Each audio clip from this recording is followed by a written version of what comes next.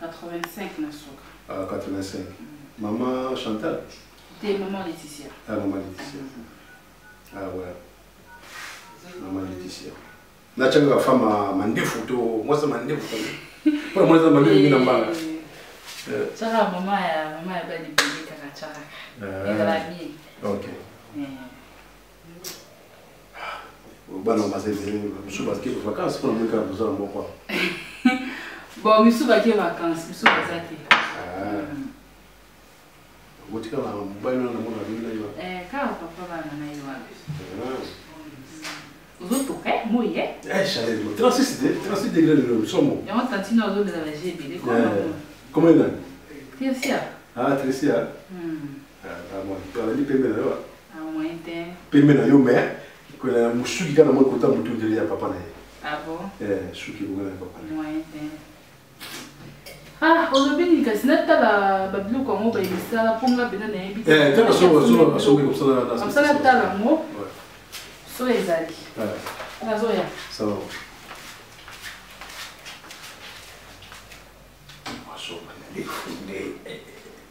ndefu na mbanga boye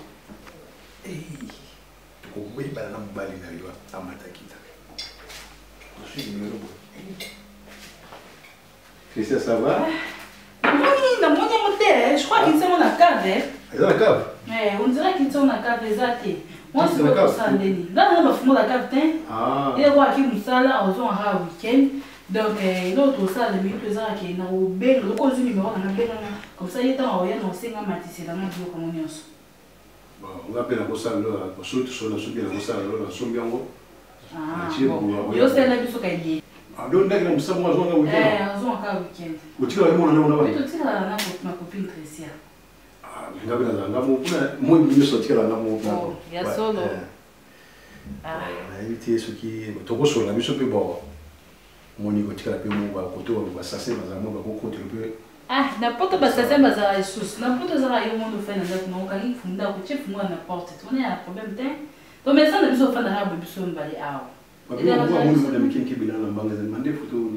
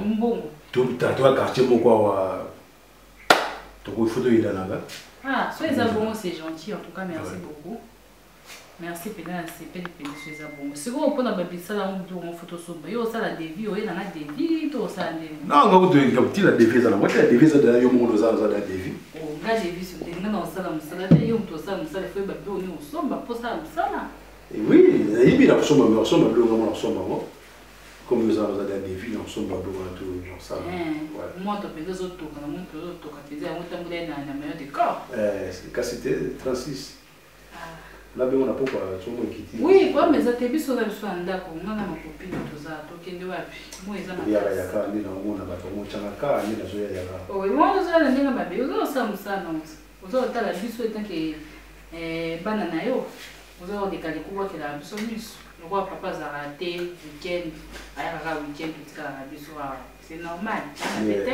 Eza eza nde mabe ya kotika bino na mwana boye babandi bakokotela bino. Babandi na poto bazala te se de okangi ta kotie fungo na porte eza na problème moko te to na sécurité. Nga nake bo comme ça napoka na kobenga yo tosola ata na telefone mpo boye na moi ozo comprendre ngai te tosola ata na telefone.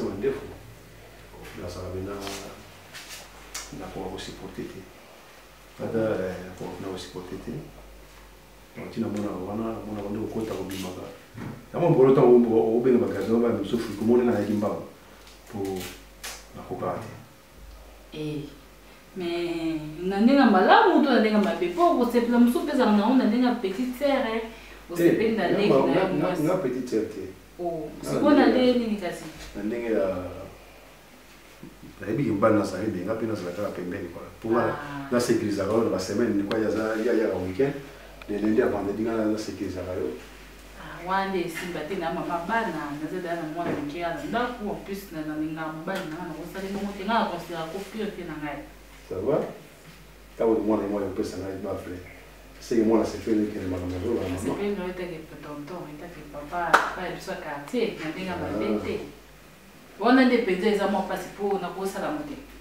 Nalingaka vraiment mobali na nga penza mingi donc nakosala ye bongo te. Na ye siko nayeba ye bongo yo pe ozolinga boza na mwasi te. Te nga za mwasi te. papa boye papa responsable ye nazomona boza na mwasi te te bona nazwi mpena mwasi na obala te me nde namonte te